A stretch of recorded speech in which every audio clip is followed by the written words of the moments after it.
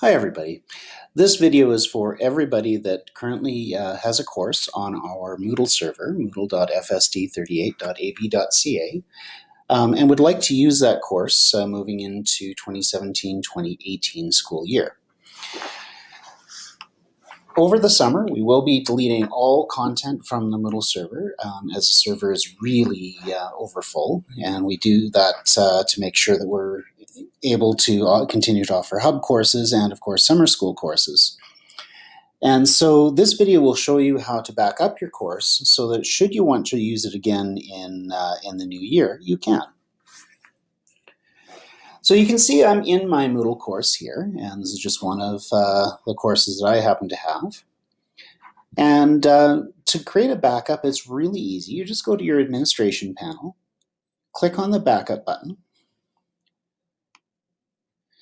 and it will ask you a number of questions. Now, the first question is, do you want to install your or backup your users? Now, if you've had uh, some students that have handed in some stuff you want to be able to um, keep for later or be able to pull the same students into a course for next year, then make sure that you have this checkbox switched on. If, however, you only want the content for a brand new group of students, which is most commonly the case, you can uncheck that. And you'll see that a bunch of stuff will go gray when you do that. Once you've done that, you can actually go ahead and push jump to final step. And for a little while, the Moodle server will um, process your, um, your uh, course. It does depend very much on um, how big your course is. So if you have a lot of video or if you have a lot of big files, this process may take some time.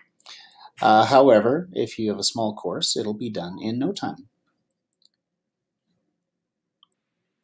And there we go. Once I've created my backup, I can just go ahead and press continue.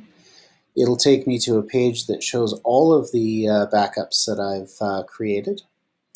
Um, you'll see that uh, the one that I made today, which as of this recording is uh, Tuesday, June 6, is right here. And so if I want to keep a copy of it, all I need to do is press download. And that will download that uh, file to my computer.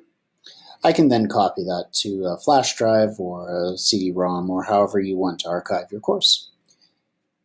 When it comes time in the spring to, or sorry, in the fall to restore that course, um, very similar process, just in reverse. Um, you'll see on your administration panel right beside backup as restore. And it'll take you back to this page.